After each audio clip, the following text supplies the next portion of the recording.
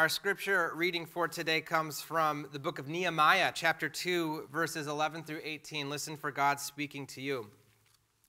So I came to Jerusalem, and there was for three days. Then I got up during the night, and I and a few men with me, and told no one that my God had put into my heart to do for Jerusalem. The only animal I took was the animal I rode. I went out by night by the valley gate, past the dragon's spring and to the dung gate, and I inspected the walls of Jerusalem that had been broken down, and its gates that had been destroyed by fire. Then I went to the fountain gate and to the king's pool, but there was no place for the animal I was riding to continue. So I went up by way of the valley by night and inspected the wall. Then I turned back and entered by the valley gate, and so returned. The officials did not know where I had gone or what I was doing I had not yet told the Jews, the priests, the nobles, the officials, and the rest that were to do the work. Then I said to them, You see the trouble we are in, how Jerusalem lies in ruins and its gates burned. Come, let us rebuild the wall of Jerusalem, so that we may no longer suffer disgrace. I told them that the hand of my God had been gracious upon me, and also the words that the king had spoken to me. Then they said, Let us start building. So they committed themselves to the common good. And our New Testament reading comes from the book of 1 Corinthians, chapter 4, verses 12 through 14. For just as the body is one and has many members, and all the members of the body, though many, are one body, so it is with Christ. For in the Spirit we were all baptized into one body, Jews or Greeks slaves or free, and we were all made to drink of one spirit. Indeed, the body does not consist of one member, but many. This is the word of the Lord. So, this week, the World Series of Baseball begins, and the Tampa Bay Rays, uh, one of our Florida teams, is going to be facing off against the, either the LA Dodgers or the Atlanta Braves, uh, whomever wins tonight's Game 7. And it's always interesting when you see a team like the Tampa Bay Rays rise and make their way to the World Series because baseball is a very interesting sport. Because in America, it's the only sport of the four major leagues that does not place a limit on how much a team can spend on its payroll. So many teams, if they have a lot of revenue, if they have good TV deals, if they are in populous areas, will employ a strategy of building super teams and spending as much money as they can to get the best players in order to make it deep into the playoffs. And often that strategy works. Um, the three of the four highest payrolls this year made it very far into the, the playoffs. The New York Yankees, they have a payroll of $110 million. That means they spent $110 million this season, just for the last few months, on their players. The Los Angeles Dodgers, the team that's playing to get into uh, the, the World Series today, spent $108 million. And the Astros spent $83 million. Those are the top three of the top four um, teams in the league and how much they spend on their roster. But the one team that has made it into the World Series now is the Tampa Bay Rays. And they spent $28 million on their roster. So while the Yankees rank one, the Dodgers rank two, and the Astros rank four in the league for how much they spent the Tampa Bay ranked 28th out of 30. So, how does a team like the Rays beat other teams like the Yankees and the Astros, who spent two, three, even close to four times as much on their players? And in interviews, the players will say that, uh, that it is the chemistry of these certain players coming together and everyone buying into the mission and everyone committing themselves to one another and the organization in order to win. And what we see is when a team can do that, they are able to accomplish something that no one thought they could accomplish. So I'm thinking about the Rays as we continue in this season of reopening our church, and we're all asking ourselves, what is coming next? And last week we looked at this question who's leading us? And we saw how God equips us to lead the church and how there are some that God has called to lead. But today, we're going to see how God has a place for all of us in this season and how God has a place for all of us in the church. And like the Rays, it takes the coming together of everyone committing to serve God and to serve one another for the church to be the best that it can be. Now, in the Nehemiah passage we read today, Israel had made its way back to Jerusalem after being in exile for so long. And Nehemiah was one of the leaders, and he walked around the city and he saw that its gates and its walls were in complete disrepair. And he, he realized that before they could do anything inside the city, they needed to do what they needed to in order to protect the city. And so it's this point that he begins to say, Who can rebuild the walls? Nehemiah didn't have vendors or contractors or experts to call, but rather Nehemiah had to call everyone from the, the people of Israel, and everyone came together, different skills, different talents, different age, different places in stature. God called everyone to come together to build the walls of Jerusalem. And, and when everyone came together, they were able to build the walls. It wasn't just the priests, it wasn't just the leaders, it was everyone whom God called to rebuild Jerusalem and to bring it back to what it used to be like. And I can't help but think about where we are today as we are slowly rebuilding life.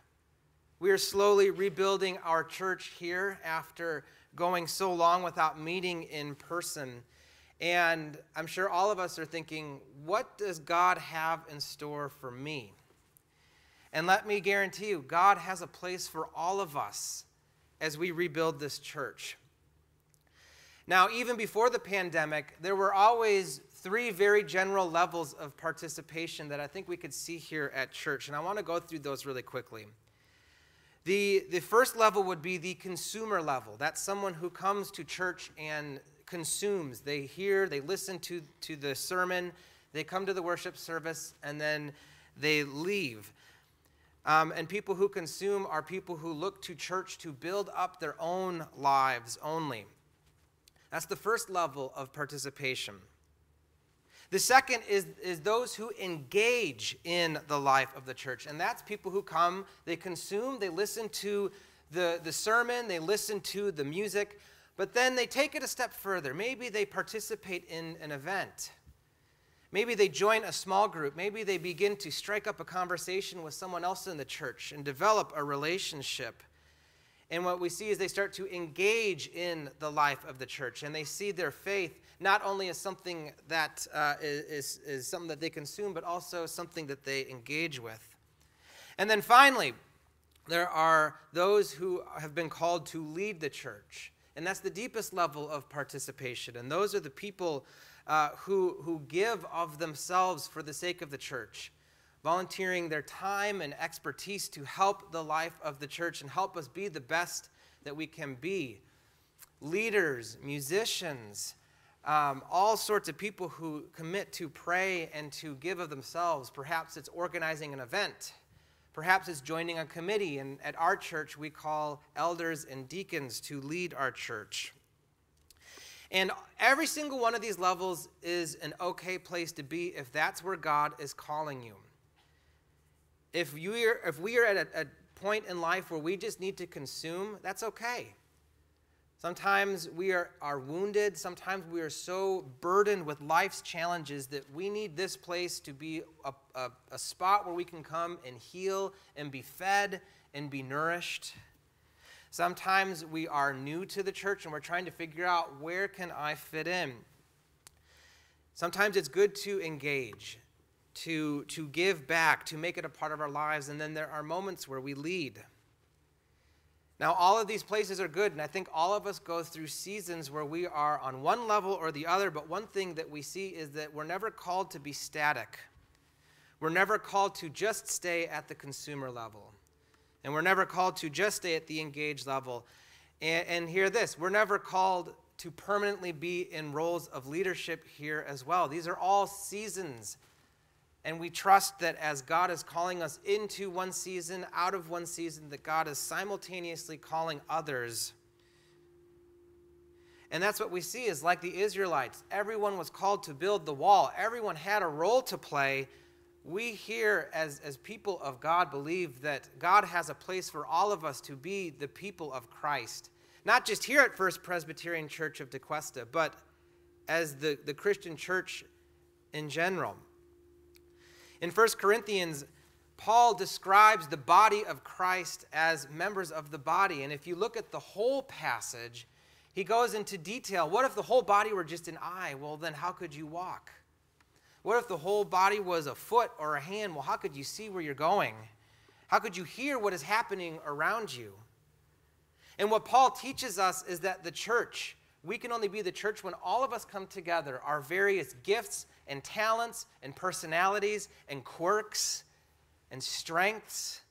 We all come together. We support one another, but then we come together to build and rebuild and to go forward as a church. Just like the people of Jerusalem, there isn't anyone else.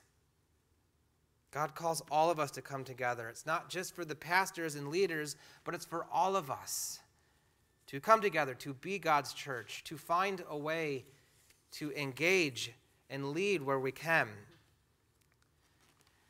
Now, you might be thinking, Pastor Dan, how can you be talking about engaging and being involved in church when we are in a pandemic and many of us, especially our brothers and sisters who are worshiping virtually, don't feel safe going outside of their home? Yes, we do live in a challenging time right now. And the way that we can become involved and participate in the life of the church is going to be more unorthodox than it has ever been. But I promise you that there are ways for all of us, no matter what our life circumstance is, to engage, to become involved, and to join our journey. And our session has been talking about this a lot as we enter into this season where we know that things might not be the same for another year or so. But in that time, we have committed to provide opportunities to engage, to be involved, to be like the people of Israel who banded together for the sake of their city. And so I want to list just a few quick ways that all of us can engage with the life of the church, engage in our faith, and help rebuild this church. The first, and this is the most important, is to pray for us and to pray for this church we will not get anywhere without prayer. And then the second is find ways to participate, and sometimes that means in person. I was so heartened this week. Uh, our nursery worker was sick unexpectedly, and she couldn't make it to a Wednesday night to watch our kids while we had Bible study.